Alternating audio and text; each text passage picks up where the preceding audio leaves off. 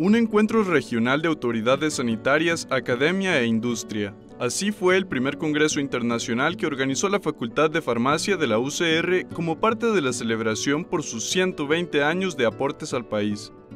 La posibilidad de, ese aporte que las universidades y que en este caso pues la facultad da y puede dar, digamos, con otros sectores, como es la parte del Estado, o sea, la parte regulatoria en este caso, y el sector privado, la industria farmacéutica, que pues son parte, digamos, de, nuestro, de nuestro quehacer, ¿verdad?, en la profesión.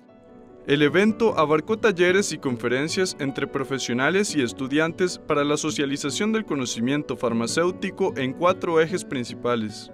Asuntos regulatorios, farmacovigilancia, eh, innovación, desarrollo y biotecnología, y el de hoy, investigación clínica, que es el último eje.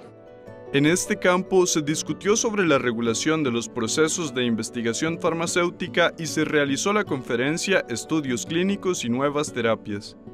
En el área de oncología, pero también en el área de sistema nervioso, en esclerosis múltiple, en Alzheimer, en enfermedad de Alzheimer, y en eh, enfermedades autoinflamatorias, como pueden ser la artritis reumatoidea, la colitis ulcerosa, eh, la enfermedad de Crohn.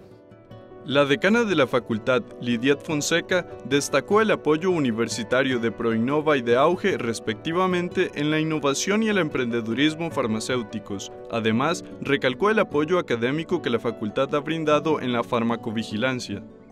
Que recién nosotros como facultad le ayudamos al, Ministerio de Salud de Costa Rica y a Comisca a hacer el lanzamiento de una plataforma regional de farmacovigilancia, de notificación de efectos adversos de medicamentos. El Congreso también fue organizado por el Ministerio de Salud, el Colegio de Farmacéuticos de Costa Rica y el Consejo de Ministros de Salud de Centroamérica, Comisca, y se llevó a cabo entre el 7 y el 11 de agosto.